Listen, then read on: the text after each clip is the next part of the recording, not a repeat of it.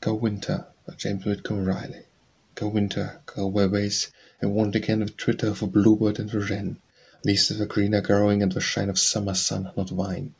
A sun which mocks our need of warmth and love, and over heartening fervencies forth, I scarce have heat now to warm our thin pathetic yearnings in. So get thee from us, we are cold, cold water, even as thou art.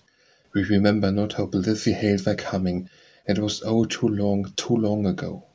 From us utterly, how summer went through spread grasses where by snows have been, Where last icy footprints melt and mould in the first marigold.